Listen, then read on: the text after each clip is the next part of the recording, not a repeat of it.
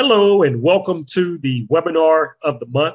Today, we are talking about website edits for 2023 for interior design and home remodeling businesses.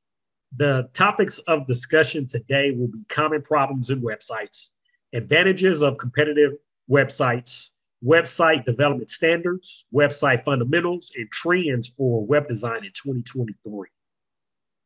So, there are a lot of trends that are heading around and you'll hear about Web3 and other new technologies that are happening. If you are familiar with the web space, there is a lot that is happening coming down the line, which we're going to talk about today. And you just want to make sure that your website is strategically made for what is to come and it's optimized for the best use of user experience. And that's what we're going to really talk about today because user experience is what can determine if you're if you have a good website or a bad website. Some of the common mistakes. One of the things I see from a lot of design and remodeling businesses is that they do not have a website. And that's the first thing you must have, even if it's old, which is the next one, if it's outdated, you have to at least have a website to be relevant in today's market nine times out of 10, if you're in the design or remodeling business, your, your competition in your area has websites that homeowners or others in the area can look up.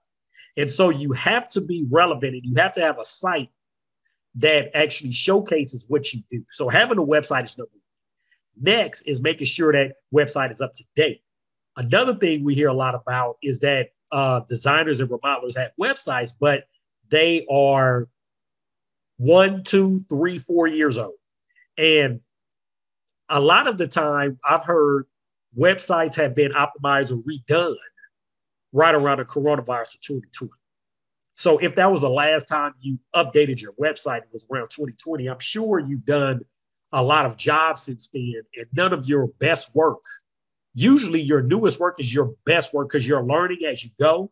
So the more projects you have, the better you get and so you want to have your best work that showcases who you are, what you do on your site. So having your site up to date is imperative. User experience, like I said, making sure that the person that is visiting your website finds what they're looking for and also has a great user experience that then leads into them reaching out, contacting you, which can convert to sales. Okay. Website analytics is not on the site like you'll hear me say Google Analytics, Google Search Console should be at a minimum on your website because that tells you a lot of information that can uh, help you optimize your site the right way. Social media is not maintained. If you have social media icons that are tagged to your website, a lot of times visitors will go to your website, then go to one of your social media platforms, or vice versa. And so you want to make sure that your social media platform is maintained and up to date as well. The next thing is reviews. You um you want to ensure that reviews are on your website. If you could get one to two, we have on here two to three, but if you get one review a month, that's really all you just get one new review a month. So every time you do a project, be proactive in reaching out to to the client and get a review from and is if you're getting one a month, at a minimum, get one a quarter. So at least if they look and it's April, you at least had one in January. Or if it's June or July, you at least had one in March or April. So at least one a quarter at minimum, but you want to try to get at least one to two a month if possible. Benefits of having a professional website, obviously, uh, is credibility because if you have a nice, professional, up to date website, you'll be perceived as credible. Strong first impression. Like I said, most of your homeowners are prospects that are looking for designers are going to look at your website and that first impression is important because it tells them who you are, what you do. The type of designs you work on correlate are symbiotic with what they are looking to do in their own home. Better Google rankings. If you have an up to date site, you'll be more favored in the search engines because the information is up to up to date. That also ties into minimizing the bounce rate because the bounce rate happens when anybody goes to your website and does not find what they're looking for, and they immediately get off. That's a bounce rate. You do not want to have a high bounce rate. You want to have a low. Having all of this, the credibility, strong first impression, Google rankings or search rankings, and minimizing bounce rate, that actually leads to increased revenue. Because once you have all of these elements in place and your website is optimized and working for you the right way, you will convert and you will increase revenues. Website is an investment. I actually did a webinar on how to recession proof your marketing game plan. One of the main things I talk about, one of the things I talk about in there was websites. And having an up to date, optimized website will help you get past anything that's happening in the recession. So, making sure that your site is up to date and optimized will help you in any type of economic downturn. Website development standards. There are a few popular trends from the past few years that will continue to be significant in the coming years. If you're undergoing a website redesign or you're hiring a web design agency, build a new website for your business, make sure these elements are in the forefront of their mind. So these are elements on your site that you need to ensure that are being thought about when you're either doing a design from scratch, you're doing a redesign, or just updating your site. Okay. Making sure the site is mobile first. Over 80% of search starts on a mobile device. And that is also one of the search ranking elements that they look at is how does your site look on a mobile device? So most of your end users or prospects are going to look at your website from your mobile device. And if it is not optimized correctly, they're going to leave. That's a high bounce rate. So ensuring that if you're doing updates on your own, if you're hiring an agency, however that's however that's happening, ensuring that the site is first mobile optimized is vital. Having SSL certificates, that is to ensure that all of the information on your site is safe. Nowadays, when you search for a site, if it's if it does not have an SSL certificate, the search engines will say this is not a safe website. And so that hurts you because most people, end users, homeowners will not go to your website if they see that the site is not safe. So ensuring that you have an SSL certificate is important. These are just some of the elements you need to have in your website in terms of everything here you need to have above the fold. That is the area when anybody enters your website for the first time before they have to scroll. So ensuring that you have primary contact details, you have your company logo and name, a clear description. It does not have to be longer than a sentence. You have your main navigation. You have your call to action social media links and mobile optimized. If you have all of this in the site, whether it's new or newly optimized, you're ahead of the game because a lot of designers and modelers do not have a lot of basics. So making sure you have these fundamentals in place will help. And these questions here will help you lay out, okay, am I ensuring that I'm handling all of these elements in my website build out or optimization or redevelopment? Am I speaking to my target avatar? Who is your target avatar? What are their fears and frustrations? Does it explain why they should choose you over anybody else? Does your website have real authentic images? Does your website include video elements, welcome video, video of your services, video that differentiates you from the competition? And if you could get video reviews from video testimonials from your clients, that's great because a written testimonial is good and you should have those on your site. But if you could get video, even better. Does your website showcase live client reviews? And that's just what I was talking about. Does your website make it easy for prospects and potential clients to take action? So we want to have your website convert. We'll often talk, and I'll often talk to our clients about CRO, conversion rate optimization. It's not so much that you drive traffic to your site, but how do you convert that traffic into buyers? And that's what these are the elements you need to have to make sure that your website is converting. Okay. Do you have a call to action on every page? Something that allows your end users to input their information, whether it's to get their information for a free consultation, get their information for your newsletter, somehow having a call to action, telling people what you want them to do when they're on that page. You need that. Another website fundamental is a blog. Now, you don't have to create blogs two, three times a month like it used to be in, in the old days of SEO. And next month, we're going to talk about SEO techniques for 2023 because they have changed. And a lot, content is still king, but how you create the content is vital. So I'm going to talk a little more next month about how you create content for SEO to drive more traffic to your site because it's changed a little bit. But at the basic level, you want to have a blog where you're showcasing and you're uh, putting out there information and content that shows you as relevant and an authority in the industry and in your area. That's what the blog does. It helps to uh, draw your end user to your site because you're you're you should be blogging about information that is interesting to your end user. And knowing who your ideal client is helps you reverse engineer and figure out the type of content you should have on your site. But the blog is where you can have up-to-date information drawing them to your website. So having some type of blog or content piece that you're putting on your site is imperative and remember, like I said, next month I'm gonna talk about SEO strategies.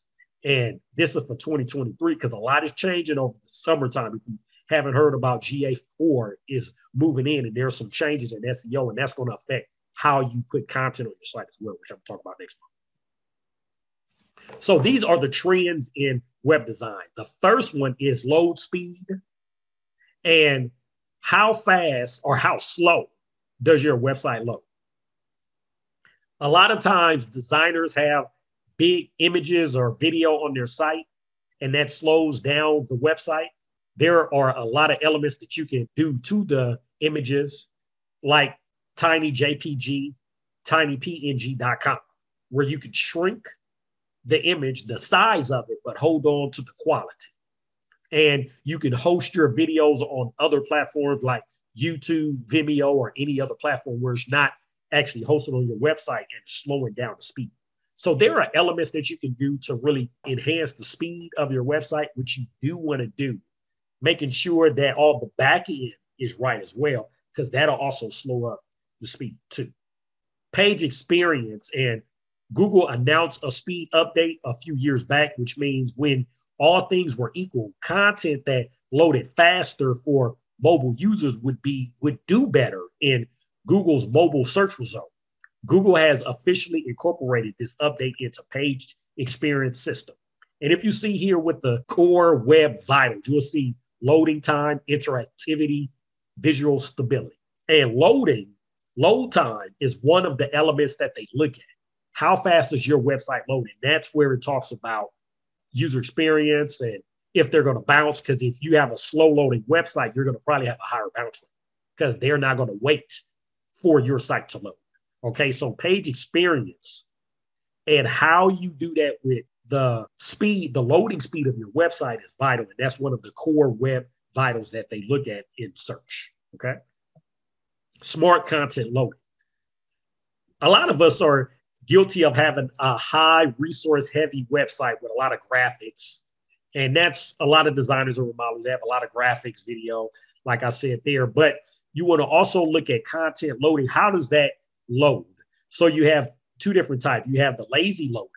Lazy loading ensures the web browser like Google Chrome, Safari, Firefox, etc., will download only the content you see on the screen without wasting valuable server resources and time to load off screen content that might never be seen, as opposed to infinite scrolling, where website visitors never reach the bottom of a web page. So why load the content and increase site load time? So it's a better approach for loading content where there's a lot of scrolling, but they may not get there.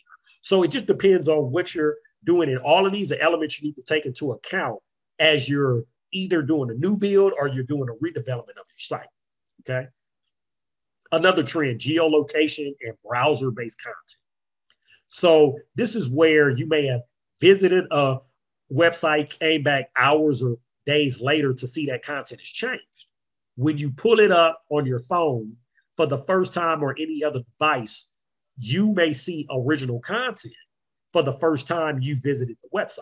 So what they're saying is that you want to have your content or you want to have your website content around geolocation. So this could be for a designer. This could be if you're living in a certain metropolitan area, you can do all the surrounding cities, whether you do content, blogs, you could do pages about where else you do services at. That's a way to do geolocation based content.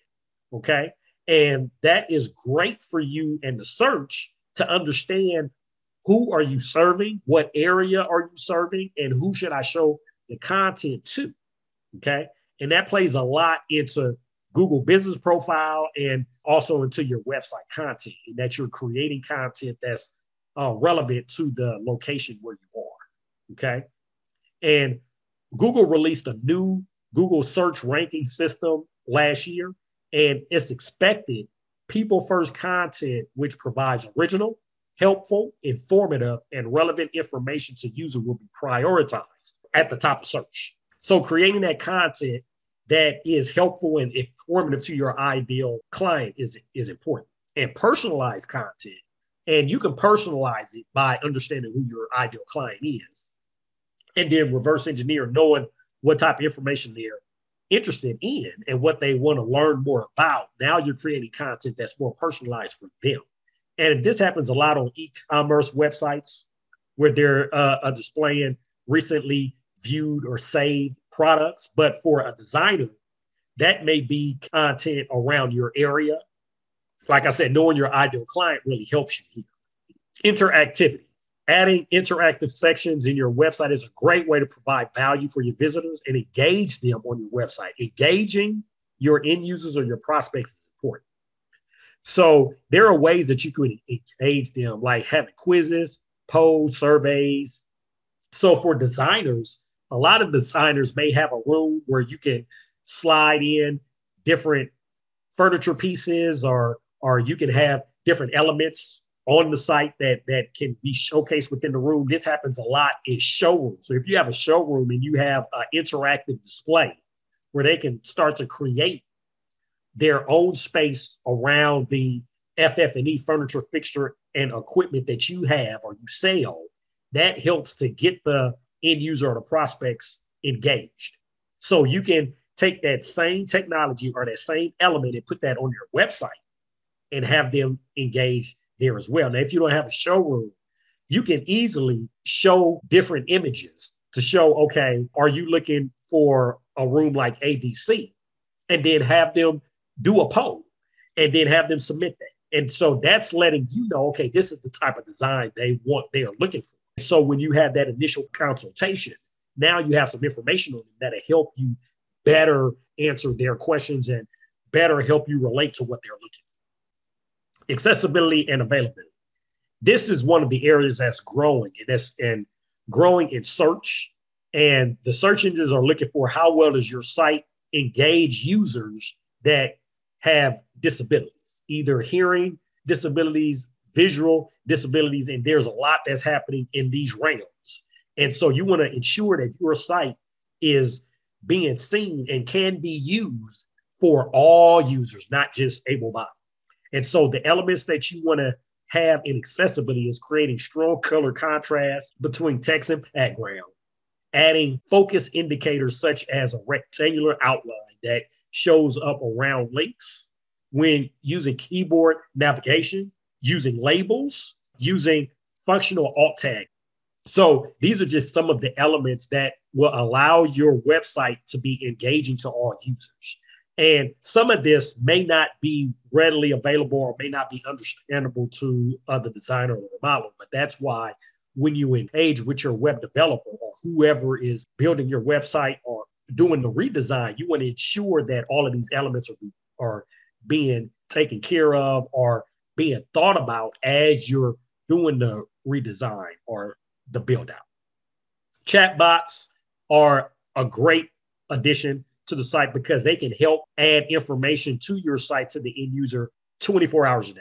A lot of times you may have a user visit your site and want to ask a quick question. And if you have a chatbot on there, you can already have pre programmed answers for typically asked or frequently asked questions and already have that information preloaded if you don't have an FAQ section, or even if you have an FAQ section, there may be other elements that you want to add in that if they're on your site at two o'clock in the morning, wanting to see a, a designer in their area and ask certain questions, your chat chatbot could probably help you.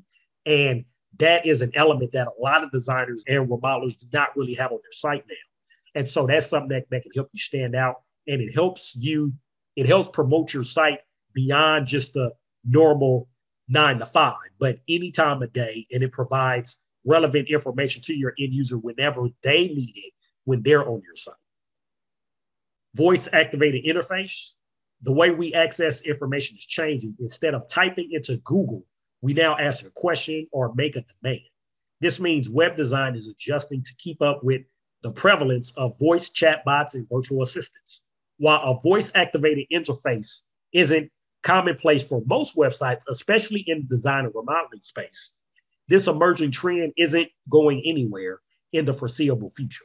We can expect to see more and more websites integrating voice search as an option for traditional text search. This is something that is happening more and more on mobile devices. When people are out searching, they'll say, Hey, Siri, or Hey, Alexa, or Hey, whatever it is and they'll ask their question. And if your site is not configured for voice activated search, that is hurting you because you may not be one of the sites that are pulled up when that happens. Ensuring that your site is integrated and has the elements to uh, utilize voice activated interface is important.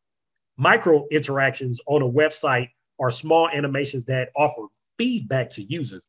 One of the most commonly used micro interactions is seeing a link change colors when a user places a mouse over. So when you hover over a link, it changes color. Or when you hover over a certain area, some type of animation or action happens. That is a micro interaction. And that also gets back to CTA, call to action. So when you have certain areas of your site that you want them to engage with or interact with, you may have those micro interactions so they can actually click on it and have that CTA, whatever that call to action is, to make them do what you need them to do on your site, whether that's a consultation, newsletter, whatever that is for you.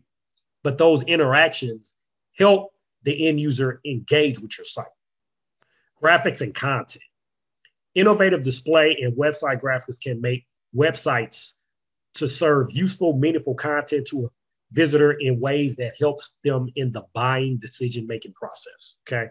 So the content and the graphics on your site can help or hurt you.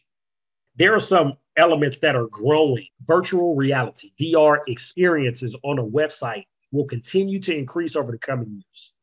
Think of sites like Airbnb that let you tour a rental before you book a reservation, or a site like IKEA that that gives you the ability to showcase what a sofa would look like in your home. So these VR elements may not be on your site now, and it may not be something that is feasible for you at this time. But that's something that you want to start to look at because that is growing and that may be a requirement in the near future. Smart video is enough. Video has long been touted as a must have for websites. People love video, it's engaging and it's the most effective online marketing tool. While video is great, it needs to be thought out. That's what smart video is about. Video with a purpose and meaning. Gone are the days of embedding a YouTube video on your site just to have one well thought out, high quality video is better than a dozen haphazardly assembled ones. When you're thinking about the layout, think about user experience and where you need to have the videos to get to have your CTAs, your call to actions memorable and have them relevant for your end user and what you what you want them to do on the site. Full page headers is another one. Dark mode and white space. These are all accessibility elements that helps improve the user experience on your site. And you just want to start to incorporate all of this information and all of these elements and features on your website. This was just an overview of websites and what to be looking for in 2023 visit our resource library. Our resource library is massive. We have a lot of information there from training videos, NKBA, CEU sessions. We have interactive videos there. We have blogs, we have newsletter, we have a podcast there, we have training videos, a lot of information to help you in terms of growing your business, marketing, PR, and business development is in our resource library. You'll also have access to our book as well, which uh, has a lot of this information. A lot of what I go over and explain is actually in the book. And what I like to say, whether you work with us or not, we have information in the book and on the resource library that'll help you grow that feel free to reach out to us because we're here to help. We help in all these areas from SEO to social media to pay per click to reputation management, video, email, website, PR, all of the above. Feel free to reach out, contact us. We want to help you reach that next level. Next month, like I had mentioned earlier on in this webinar, we will be talking about search engine optimization techniques for 2023. There's a lot that is changing in the next few months. Over the summertime, GA4 will be in, and a lot of the websites now that are using universal Google Analytics, it will not work anymore. And so they're transitioning to GA4. So, and there's a lot with that change that's happening with search. And so I'm going to talk about a lot of that next month. We hope to see you all here next month for our webinar of the month. Have a good day.